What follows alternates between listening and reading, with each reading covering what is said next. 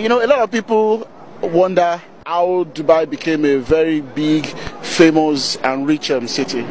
You see, if you are if you're comparing with Nigeria, listen to this. Nigeria has oil before than Dubai. It's a history. They are more rich than us. They have agriculture, they have mining, they have everything. You name it, they have it. Am I right or wrong? When you have a true leadership, which we have, we have nothing, but we have everything because we have the right leadership. That's the only thing you need a right leader for your country, not corruption. That's what brings your country at the top. You don't need anything.